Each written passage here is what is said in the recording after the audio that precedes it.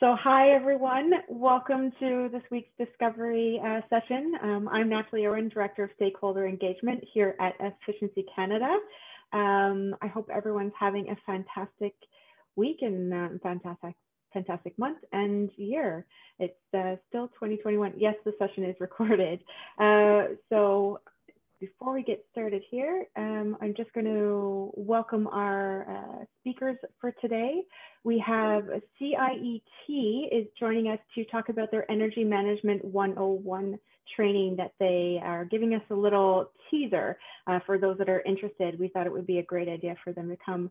We have Stephen Dixon as well as uh, Olivier Cappon. So welcome, uh, gentlemen. Uh, thanks for joining us this week. Thank you, Natalie. Thanks, Natalie. So, Stephen, maybe you can um, uh, help me by advancing a couple of the slides until we get to your part. Um, but uh, hi, everyone. Uh, it's Olivier Cappon here. Uh, thanks to uh, Natalie for the invitation. Very happy to take part in the Discover uh, Energy Efficiency sessions. Um, what we'd like to do is uh, give you a bit of a teaser as to uh, what we do in the EMP 101 program. Uh, Steve and I have given this program about, um, I think I've lost track, Stephen, but I want to say four times. Yeah, um, that's good. That's about right, right? Okay, so about four times um, uh, with our next session coming up in March. And um, so, Stephen, if I can just get the next slide what we'd like to do is just tell you a bit about uh, the program. Like I said, give you a little teaser, and Stephen actually even has a, a little demo that he'll bring you through that we'll uh, we'll attempt to do live. So uh, that should be uh, that should be a lot of fun. And then of course we look forward to taking your questions at the end. Uh, so a bit about the program. I won't spend too much time on, on the nuts and bolts of the program. You can, of course, uh, check it out on the website. Uh, but in essence, uh, we launched this program in April of 2020. Um, specifically looking to to see how CI uh, how we could do more essentially to get um, uh, new Canadians um, students just graduating, so basically new professionals to the to, to the energy efficiency job market, and also to uh, those looking to uh, further their career uh, in energy efficiency to really give them uh, a, a, holistic but also a pragmatic uh, level of knowledge that they could use um, and that they could demonstrate to uh, to a prospective employer um, or to the employer that they already have that would that would that would allow them to to, to go further in their career.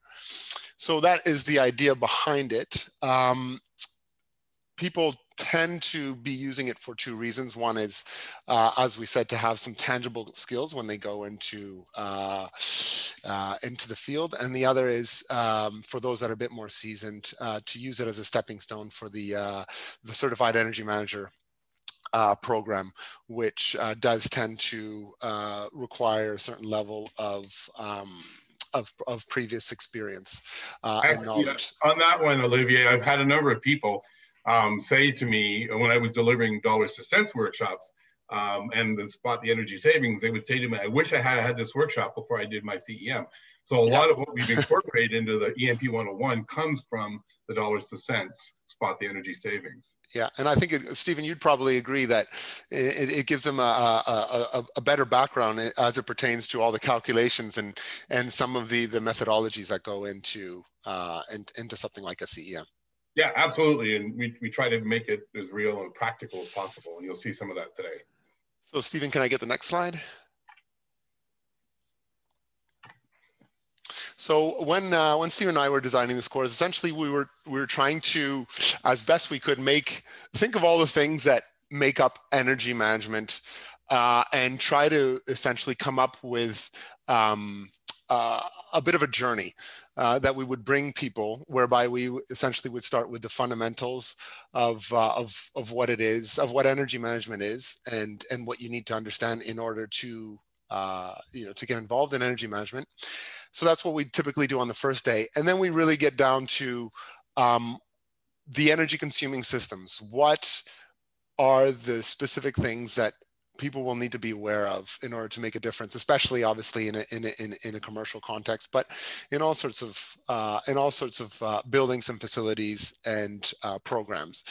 And then the third is probably uh, day three is probably my favorite day which is you know so you've you've you've got your fundamental understanding of energy efficiency you've got your understanding of energy consuming systems uh, now what do you do with that so how do you actually apply that into uh, a real life setting um, and of course how do you then bring others along uh, and engage them and so, uh, Stephen, I guess we should say that we this is not pie in the sky. We didn't uh, get this off the top of our head. We, uh, Stephen, if I can get the next slide, we sort of oriented ourselves from um, this idea of the challenge of energy management as uh, comprising three, um, a triumvirate, if you will, of, of, of three things. So you, have got the technical side, which for us is, is our day two. You've got the organizational side, um, which is uh, largely our day one. And then of course you've got uh, people's behavior, um, which is which is a bit of what we attack in in, in day three, and um, it should be said that these are not really new concepts. I think, uh, Stephen, you were telling me the first time that you came across this kind of idea was in, in 1999, right? That's right. Um, under the dollars to cents program, one of the first workshops was created. We we had uh, sort of we were introduced to this. I think Robert Greenwald, who's online, was also there too. We were introduced to this this Venn diagram, which uh, was for me sort of it kind of formalized what I'd been kind of seeing before. In fact, two years prior to that, I ran into a, I worked with a social anthropologist in PEI. She was actually in charge of the energy program down in Prince Edward Island. And one day she said to me, she said, Steve, you technical guys are never going to crack this energy nut until you deal with people and then groups of people. Who better than a social anthropologist to focus you on the importance of people? And that's truly then where I, this kind of all came together for me in, in the last century.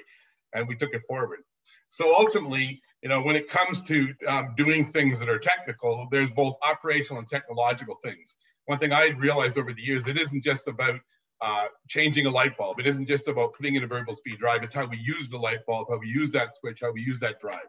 So it's both operational and technological. And you can appreciate then there's a different cost attached to those things as well ultimately, if we're talking about operational things, we have to focus on people's behavior. I don't like to use the word behavior. I like to actually talk about awareness, engagement, habits, procedures, and feedback. You know, it's very difficult to not get a speeding ticket when you don't have a speedometer in your car. And the same thing without good energy information, people are, are you know, they can have great awareness and great habits, work with procedures, but they need feedback too. All those elements are important. And then ultimately, if you're dealing with more than one person, you're dealing with organization and that culture piece comes in. And we, we deal with all of these things. We actually even have an activity around organizational culture as it pertains to energy efficiency within day three of EMP.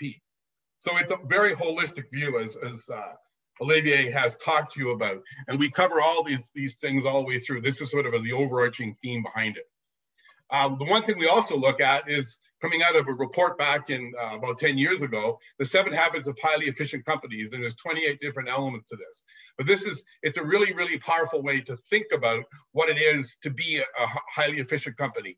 Given the time today, I'm not going to read all these things. You can read the slides. I actually direct you to the reference. It's a great report that was behind this. They looked at 100 companies, companies like Toyota and 3M and so on, that did this stuff. What did they do?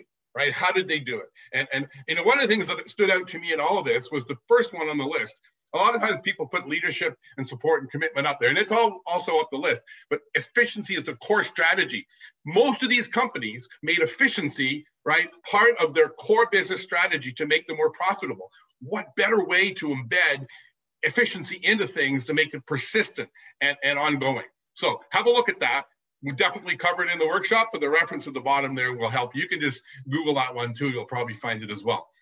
Day one is about fundamentals, right? There we take a look at, you know, the, the units of energy and, and the relationship between cost and energy and carbon. I, I like this slide. I always like to tell people do this.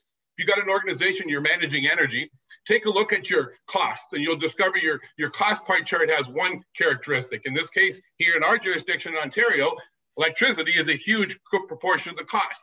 If you look at your energy consumption, it probably breaks down 50 50. If you take a look at your carbon side of it, again, here in our jurisdiction, it's going to be different from all of you across the country. Carbon is, is a much larger piece of the pie. So if we have the challenge of going forward, we've got the sustainability goals, i.e., carbon. We have fiscal goals, right, i.e., money. We've got to balance these things. So looking at it this way allows us to do that and understand what we do, which meets both of those those goals that most organizations have today.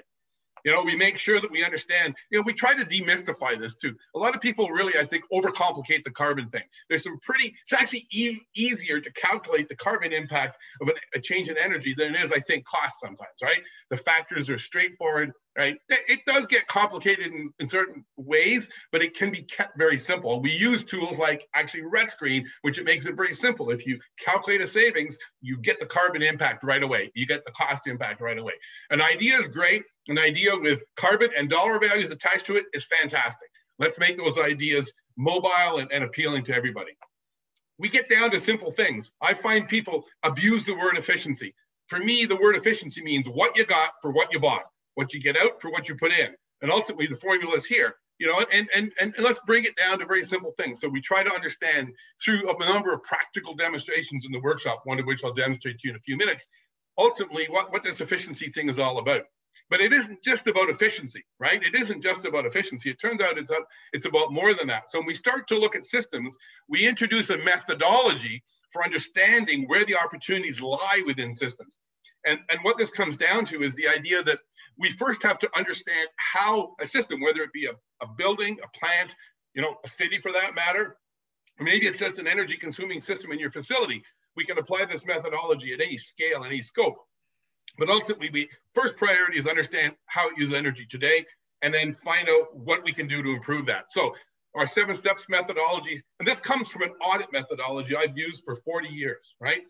Understand your consumption and cost compare yourself, benchmarking, right? Compare yourself to yourself and others. So doing the monitoring thing as well, performance analysis, understand when, profiles of electricity, gas, understanding right on a time scale, very powerful tool. Time series analysis. We get into that. We give people tools for this and understand where it's all going, building that inventory, understanding what the pie chart looks like. You know, if I only had to do one thing, Uh, one half of this process, I would always do the first part because I can always find opportunities by asking myself those questions or those going through those first four steps. But now I have an opportunity to look for more savings, and I do it by looking for waste, energy we don't need to use, maximizing efficiency, right? How well we convert the energy, what you got for what you bought. But the waste is the first priority, and then ultimately supply. Now think about net zero. How do you get to net zero? Well, you get the waste out first, improve the efficiency, and then you turn to the things that optimize supply, like heat recovery and renewables. And if you do things in that order, you will find the most cost-effective solution. So ultimately, that's a strong theme throughout the second day. That is the methodology for looking for opportunities within systems and equipment and buildings. We should say, Stephen, that ultimately that methodology will underpin a lot of a lot of what people will will, will do in their um, in their careers. Exactly, exactly. I mean, you can apply that method. We didn't get it from energy. I was standing in a plant one day, yeah. and, and my my friend Garth, who some of you know Garth White, I worked with for years, he looked over on the wall and there was this this graphic around how to eliminate waste, material waste in a production environment. And Garth and I both looked at this and we go, we can apply that to energy. So that was actually a company called Grenville Castings up in Eastern Ontario. And you know, they taught us how to manage energy, right? We took the principles of materials management and waste reduction, lean, a little bit of lean in there, brought it into energy.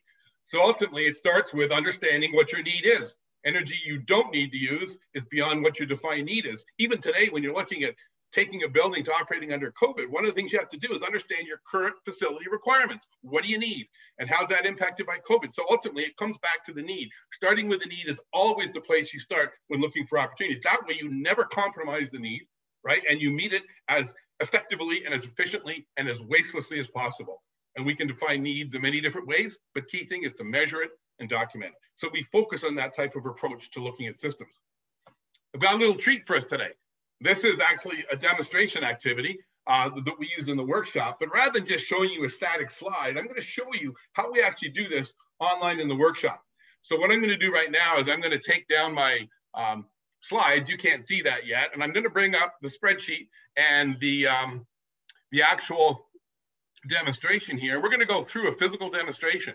So uh, Olivier, you can confirm this. Uh, you can now see my background, which is a bit of a yep. sunset, maybe with some pictures yep. on top of it, right? And we've got the Excel as well and the image. Yeah. So we're Great. So over here, I can wave to you now. You can see me. And Alex says I can't use cameras, but I snuck my camera in here. Okay, here we go. so I can do this little pumping. This is a real pumping system, right? We've got a pump over here, right? We have a, a, a loop. This is running about five to eight gallons a minute. One inch pipe, pretty good.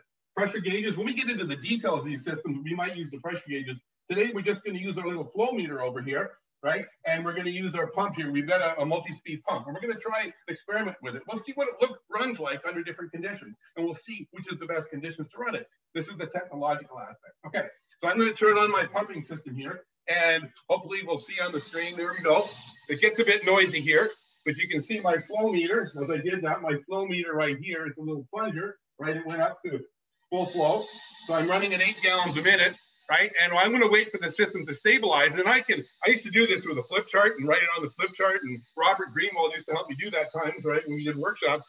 Well, ultimately what I'm gonna do is I'm just gonna hit a button which says record. And it's gonna grab, grab the value from my electronic meter, which is metering this by my network here. So there's 44 watts, 5.6 watts per gallon per minute. All right, let's do the thing that many people do that's not the best thing to do. We're gonna throttle this thing down. And we're gonna throttle it down to five gallons a minute. There we go. So we're at five gallons a minute, right? And whoa, look at that, we saved a bit of energy. Well, not very much, or a little bit of power, not very much. Hmm, look what happened to our watts per GPM.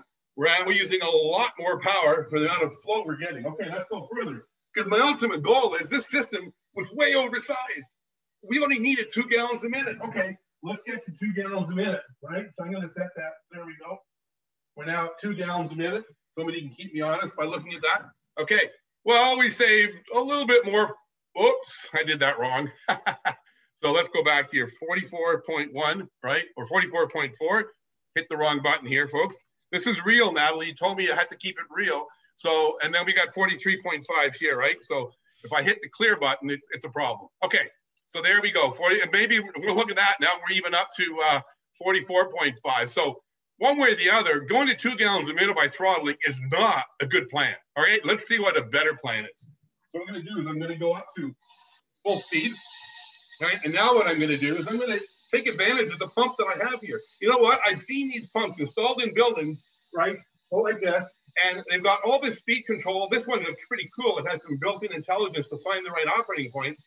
And people do is put a throttling valve right beside it on hydronic system. What a waste, what a waste. Let's see how much. Okay, so I'm gonna slow this thing down now, right, to, to a lower speed, and you'll see that my flow meter settles in here at the five gallons a minute now. Okay, that's good. So I'm gonna hit the right button this time. All right, so 21.6 watts. Already, we're using less watts per gallon per minute than we were to begin with, right? Right to begin with. Now, let's see if we can go further. I'm gonna drop this thing right down, right, to its lowest speed. And we see our flow meter settle in here at two gallons a minute. You know, it, actually has a watt meter and a flow meter on this pump, but you can't read that very easily. But it is sitting there at two gallons a minute. I'm gonna record the wattage. Look at that, 6.2 watts. So which way would you rather run your pump, right? In for 22 watt, 0.2 watts per GPM or 3.1. Wow, seven to one ratio. Now, if you know anything about pumps and pump dynamics, and we'll learn about it in the course, the, the um, pump affinity laws, you'll see that there's a, there's a reason for the ratio being close to eight to one. That, that's because of the theories behind it or the, the actual uh, relationships behind it. But we don't have to understand all those numbers because that's the other virtue of this course. You can you can kind of be an observer and watch stuff like this, or you can be. I've had people through the course that were like 15 years in mechanical engineering, and they got something out of the course too, right? So it's it's got something for everybody, and it allows us to work at a number of different levels using techniques like this. So um, hopefully we'll be able to share a few more of those things with you. I'm just going to shut the toys down now, and I'll bring my slides back up actually, as I do this, I'll just share with you a little beautiful view from PEI. If anybody knows what this, this is a sand dune in the North Shore of PEI. And this very, very smooth angle is called the angle of repose of a particulate in a pile, like an aggregate, like sand. It's beautiful picture, but it's also beautiful science as well. Okay, so let's keep going. We're, uh, we're getting close on our time here. So I'm going to go back and I'm just gonna say a few words about how we apply what we've learned now within our workshop. So under application, one of the things in terms of um, methodologies for finding opportunities that we actually uh, focus on is the idea of existing building commissioning. And we get right into the, the, the, techniques of it. We have activities within the workshop that explore how to do this. Now, we're not going to make recommissioning or building commissioning professionals in this workshop, but we will provide a platform that they can then go and take some of the other courses that are available out there for becoming more proficient in that. right? So we go through and, and we break it down and we demonstrate some of these techniques within the workshop using things like loggers. In fact, we can run functional tests potentially on a pumping system in our workshop as well. So we, again, we're trying to make this stuff as real as possible, right? And, and that's ultimately, uh, there's only one way to assess the system. Ultimately, we can sit there at the end of a computer and look at it on the automation, but any good existing building um, commissioning professional will tell you the best way to do it is to walk, put your boots on the ground and go look at that system. And again, that's how we try to bring it as much as reality as possible in these workshops. All right, so uh, an idea that saves energy is a good thing. An idea where we know how much energy it saves, excuse me, we know how much cost reduction we get, we know how much carbon we get is a good thing. But what about the business case behind it? Well, in this workshop, we do a couple things that are pretty cool. We answer this question full on because these two projects on the base of simple payback look the same, but I don't like that word simple payback. I would rather talk about net present value. Well, no, I'd rather talk about savings to investment ratio, whereas simple payback is how long do I have to wait to get my money back? Savings to investment ratio says, if I give you a certain amount of money, how much are you going to give me back, right? Over uh, over a certain period of time. So if I say over 10 years, you know, a simple payback of three years is could be like a savings to investment ratio of four to one, meaning I get four times as much money back. And that's adjusted for things like inflation and discounting, that is the time value of money. So ultimately, we, we teach really good financial analysis. We provide some pretty good tools for that too. We have a financial analysis spreadsheet. So not only do we give people knowledge in this workshop, and hopefully through excitement, we build some motivation for them that, that is allowing them to feel motivated to do this. We give them real tools to apply. Excuse me, because without the tools, all the motivation in the world and all the knowledge is not as useful. So tools are important too. We should say, Stephen, that those Stephen, we should say that those tools are both technical and financial. Oh, absolutely, absolutely, yeah, technical and financial, and in fact, even more than that, because when we go beyond the whole idea of building or just a financial case, we go to the idea of building a business case around efficiency. Then we use a technique called the one-page proposal. Anybody have ever seen it? It's a great book. Look it up if you haven't, called the one-page proposal, written by a guy named Patrick Riley, but we build it into the workshop. And I've had people run away and get so excited about it and actually go away and send me an email three days after the workshop said, Steve, I took that one page proposal idea. My boss was telling me the proposal I was giving it was too long. This was from selling projects internally. He said, she, she said, I, I went back, I spent a bit of time, I got it to one page using your template, and he approved the project for $140,000. In fact, now he wants five more of them. So ultimately, these are real tools that work for people, right? And this this actually this slide actually some of you might recognize it if you've ever gone through the older dollars to cents workshop well we've incorporated the best of dollars to cents within these workshops and this is one example of that so i'm going to flip it back to you uh, olivier and i'd be happy to answer questions as uh, we finish off here Thank you very much, Stephen. So Natalie, um, I think uh, I was I was trying to follow the chat, but I think there's a couple of questions that we might have missed. So um, yeah, if yeah. you want to fire those at us, we're happy to take them. Perfect. Thank you for uh, bringing your enthusiasm today. And also, I appreciate that there were some rules that I had that you followed, Stephen, and then some that you didn't. Actually, that's true, Natalie. We, we, we, still owe you a joke, Stephen. You have to think of a good joke. We were instructed to, to yeah. be funny. oh. oh, that God. was your job, Olivier. uh, I'll think of something along the way. I've got, I've got a few minutes. You know why I don't tell jokes? Because my wife tells me that if I tell a joke and you laugh in the audience, I might think I'm funny and I might do it again. So that's my joke. There you go. well done. Uh, she sounds like a smart lady. yes. So again, one of the questions was, is the session being recorded? So yes, it is. Um, we're going to post it on our, our website uh, along with the, all the other ones. It's under the education tab on our website. You'll find all of them there. Uh, another question here, which I saw that uh, Matthew Cote, who works uh, with uh, these two here, has answered, but um, so I'm going to read it if that's okay. So the question is, is this course suitable for business development roles too, without having any uh, energy efficiency or engineering background? Do you guys want to address that? And yeah, yeah, sure. I'll take that one, Stephen. Um, yeah, I would say absolutely it is. Um, uh, you know, in, in, designing the course, we're actually matching somebody that's non-technical myself with somebody that has a lot of, you know, over 40 years of technical experience. Uh, well, Stephen, I'm going to say 40 years. I think it's around there, um, which, which, which is Stephen. And uh, so I think uh, even if you're, you've got a non-technical background, um, that is really what we're trying to do. We're trying to both expose you to the technical in, in, in an amount that you can that, that that is palatable to you, but also to to to develop the skills that you do have. I think I did uh, see that question. I think the person had a business development background, so I definitely think that um, that application and what we were talking about about the one page proposal. I think all of those things will be uh, uh, of a lot of interest. And then conversely, a lot of people that have that that systems, that technical background. Um, Stephen was talking about mechanical engineers. Often, um, either the, uh, the the the application and how to engage others. There's always something that you can learn uh, there to kind of get the most out of your technical skills by bringing other people in on onto the um, on onto that energy efficiency journey with you. Because ultimately, you'll need people. I'd like to reinforce that we definitely can uh, appeal to all people one of the design um, premises that I started with in back in 1991 when I designed the dollar, the uh, what became the dollars to cents spot energy savings opportunities workshop was actually uh, called the PowerWise Opportunities Workshop with the government of PEI was the idea that you need two people in the room. Now today we can't be in the room, we can be online, and those two people were somebody in a decision-making capacity in an organization who, who wouldn't necessarily understand or want to deal with the technical aspect. And we had the technical people who were in the operational role. And one of my goals, and I actually had people saying this in the workshop, was there to be a dialogue between those two people. So the person that's in the decision making capacity is not going to make a decision positively towards doing something for efficiency unless they have a level of comfort with what they're hearing.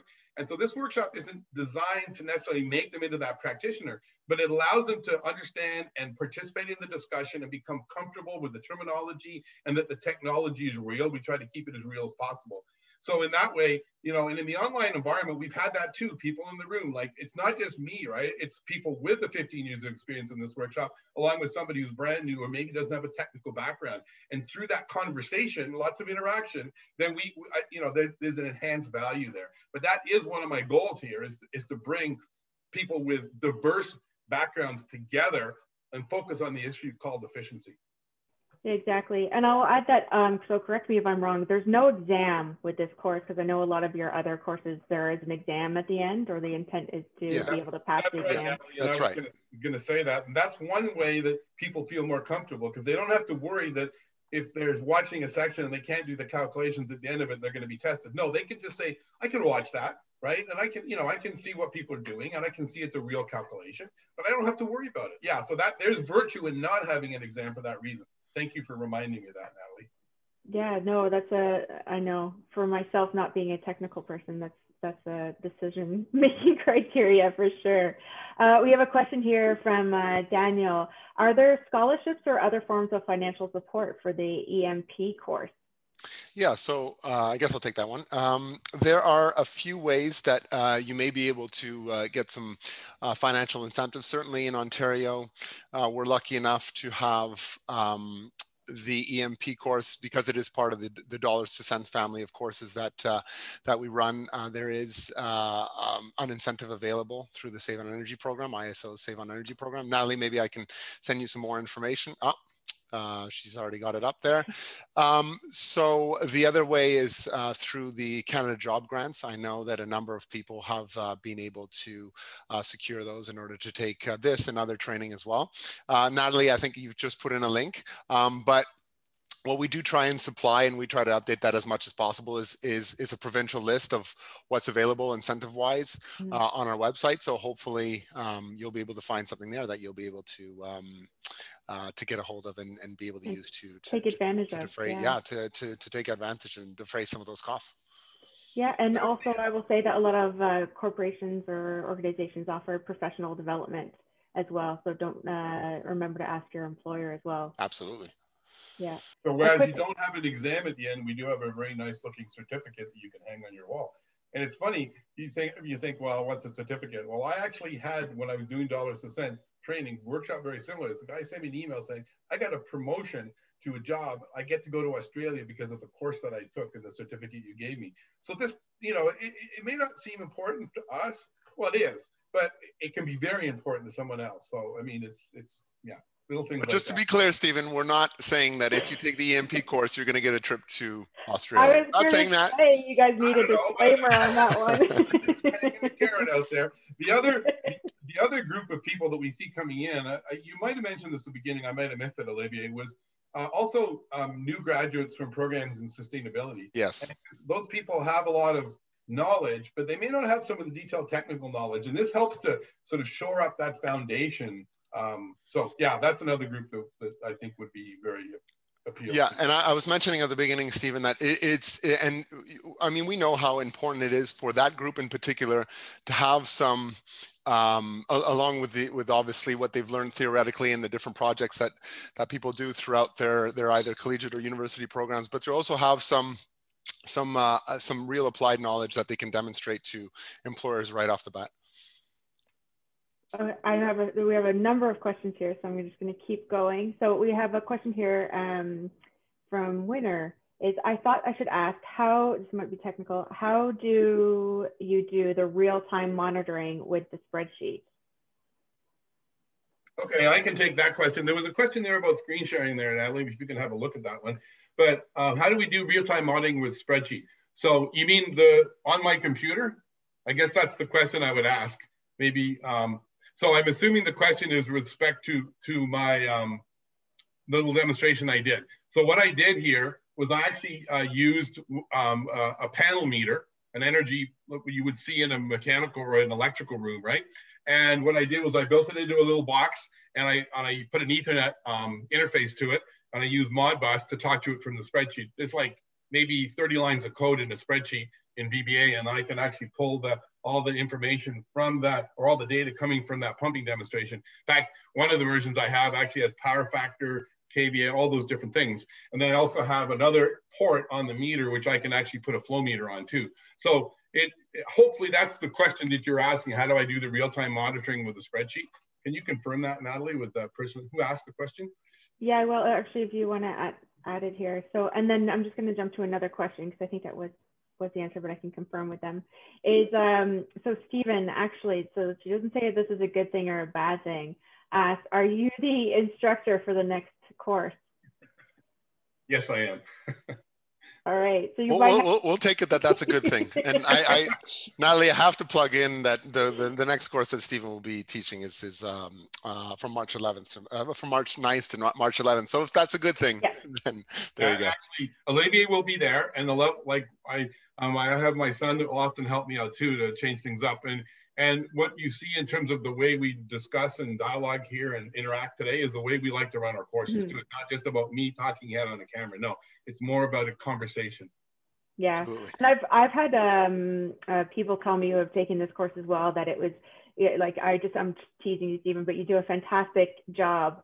And uh, they said that I, uh, they were really concerned, especially it was at the beginning of the pandemic when you guys offered this course, and it was virtual. I think it was the first one, and they just came back to me and said it was you know i was very concerned about it being three days online. And they said it just flew by and it didn't feel like three days. So uh, great job on on that. That was feedback that i was i was given. Um, thank you. Awesome. yeah. Uh, another question here is um, uh, how relevant is from Stephen? How relevant is the CEM training for ESCO company? Okay, so you're asking me about the CEM training. How relevant is the CEM training for an E? What was the last? An E ESC. It's Energy Service Company. Energy Service yeah, Company. Yeah. Well, I guess, uh, go, ahead. go ahead, Stephen. No, go ahead, Stephen. Well, I guess it depends on your role, right? I think that the CEM training, like this training gives you foundation, but the CEM training then you can do it, you know, you can do it with a gap with some practice in between, but really allows the CEM training, I think really allows you to know what you know and, and the exam within it is important because it solidifies things for people. I mean, I know myself, I, I fear exams, but it's not, they're not bad things. I think they cause you to really come to grips with what you know at some point, right? And, and, and saying in this course, we don't have it because it allows you to sort of watch, but ultimately you have to do that. So and then the if, if you're talking about an energy service company, I think all the stuff we talk about in here is really important. I actually used to work for an energy, one of the first energy service companies in this country years ago. So a lot of what I learned came out of that, that experience. But over the years, we've seen a lot of other people from ESCOs, if we can call them those, um, who, and, and the, what you have in the CEM, again, the financial analysis, like looking at energy from all points of view, the technical side of it, and, and even the organizational and, and, individual side too. Very important. So I, I, would have to say, Olivier, I can flip it over to you. I don't teach the CEM, but I think it's an important part in that uh, learning pathway, as Olivier always likes to talk about. Yeah, that's true. I do. Uh, yeah, I'll just add that um, I, I think that that the the CEM really is is valuable for for for two reasons. Um, the, first is yeah to kind of reinforce that holistic view of energy efficiency, which is actually at the crux of what we what we try to present in the EMP 101 course. But also it is a validation um, of your skills and what you know, and it's something that we see a lot in in as as a requirement uh, more and more uh, now as, as, as we near about um, 4,500 or so CEMs across Canada. We, you, you see it as, as something that's necessary in certain projects or necessary um, uh, for certain, uh, in certain job descriptions and so on and so forth. So I, I think it's, it's definitely a, a valuable tool to have uh, in the toolbox for sure. Yeah, well, actually, I would, I would say that yeah, as well. I just mm-hmm. noticed a question here from Joad Clement out in Alberta. I know he attended one of our courses and he's talking about um, the length of time of this course. Um, and I'm going to go out on a limb here. Um, so, um, Olivier, I mean, I've, I, I, I've sensed this from people, and we are breaking up some of our other courses into two, three, four hour sessions. So that may be something that we need to take back and think about whether it can be broken down. Olivier, do you want to chime in on that one too? Yeah, I think that uh, that could be a possible. We haven't done that uh, down the road. So at the moment, it's three days, they're consecutive days.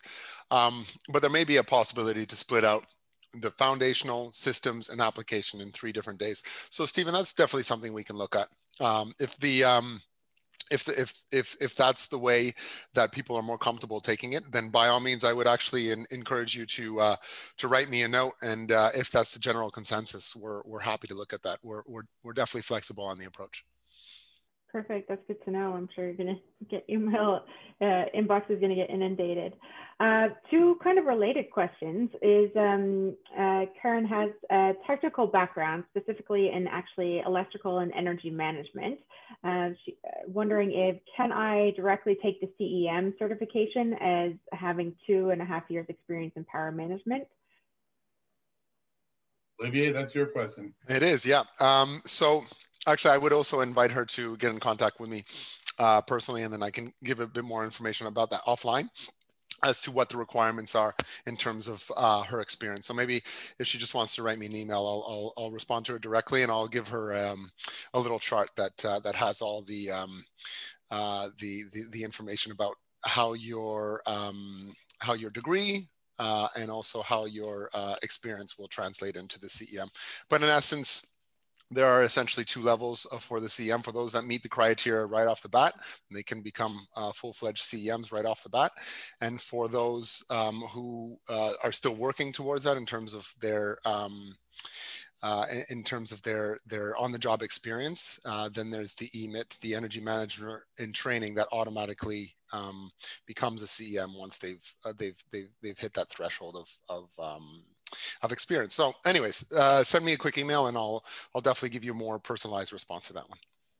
Uh, and I'm, I'm getting messages that some people can't see Stephen's screen anymore sharing. So if that's the case and you're wondering what Olivier's email address is, you can always email um, us at Efficiency Canada and we can connect you. So it's just info at efficiencycanada.org. Um, email is also on the website. There you go. I can see it, but some people are saying they can't. So I'm just uh, giving that as a, a, second option, just so they're not left left out there wondering how to get in touch with you.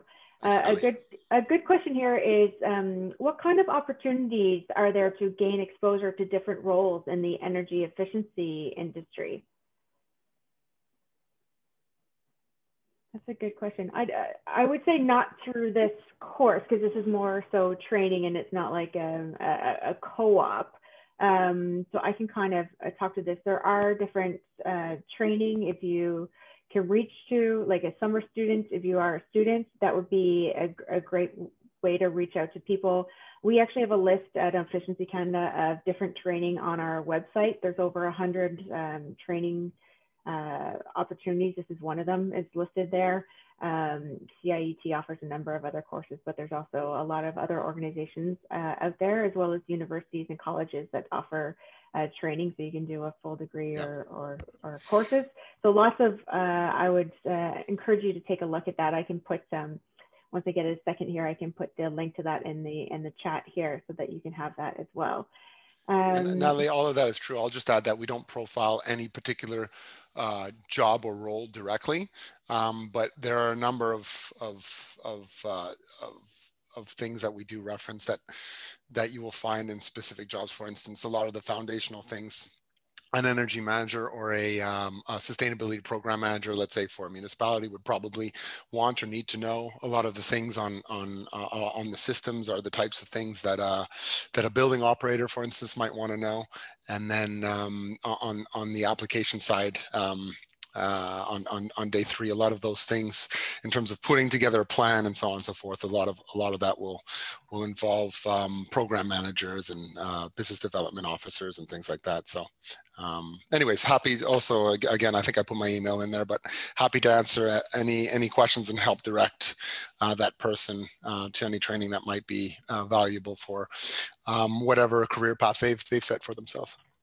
That's perfect. Thanks for that. And I'm also adding, I added the training um, list that I, I mentioned earlier just in the chat there. I also added examples of jobs in energy efficiency. So there's about 12 jobs listed there that we highlight because um, it really, the range is really large. There's actually 436,000 Canadians working in energy efficiency and 51,000 uh, businesses. So there's a lot of us here, which is fantastic, but it's kind of overwhelming. So here's an idea of of the different types of roles that pertain to energy efficiency on, on the our human energy uh, website. And we're also um, going to be updating that uh, this year with about 12 new jobs, so 24 in total, and then another uh, 12 over the next coming year. So 36 jobs of examples of uh, real people that work in energy efficiency that you can just, it gives you a, a great overview of the uh, jobs available.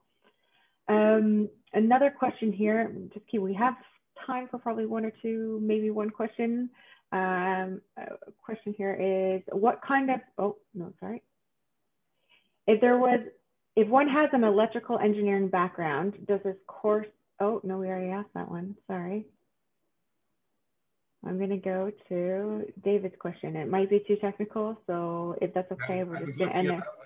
I'd like to take that one offline with oh, David. Oh, okay, perfect. Yeah, David can. Uh, I saw that he put his email in the um, chat there. So I'm just going to end it there for today because there was a lot of great discussion. So thanks everyone, and thanks for your interest in in this course. And I, I would encourage anyone that's even thinking about it to reach out to Olivier to discuss, or even just you know sign up. It's a fantastic intro course. There's no exam, so there is no pressure. You just take what whatever you want um, from the course. Um, it's great for people that are new to the field or even have been in the field for 10 years but not in a, a technical role but are interested in learning more. Uh, I would say this course really applies to a, a, a, wide variety of people and I think that's why you guys created the course in the first place just because so many people asked you about it. Um, so you this is this is your response to what people were asking for. So thank you for doing that for the sector uh, on behalf of 436,000 people. Thank you. Thanks for having us.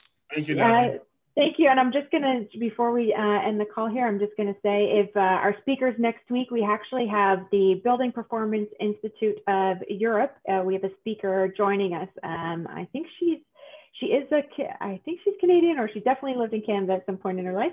Uh, so she is going to join us for that and talk about the um, renovation wave happening in Europe. So that would be a really interesting uh, topic. I'm really looking forward to that one to see what's happening over in the EU. Uh, so I hope you join us next uh, Friday at noon. And thanks again to Stephen and Olivier for joining us and have a fantastic Friday. And I'll see you next week.